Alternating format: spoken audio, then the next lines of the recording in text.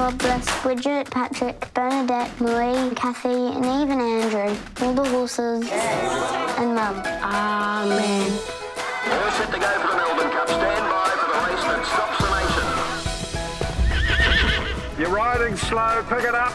I want to ride Group 1s. I want to be the best. Hi, I'm Michelle Payne. I'm available for track work. I'll just be outside if anyone needs me. I think you might need someone to manage her. A woman jockey. Who's that riding your horse, baby? What you doing after the race? Celebrating. We're off and racing. The girl's never going to win the Melbourne Cup, mate. Get off me! Get back to where you belong!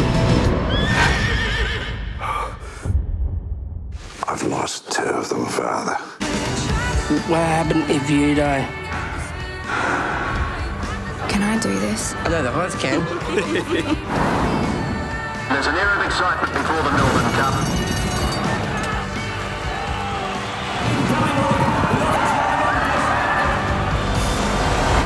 The only thing that matters is the odds you give yourself. ライドライクアガール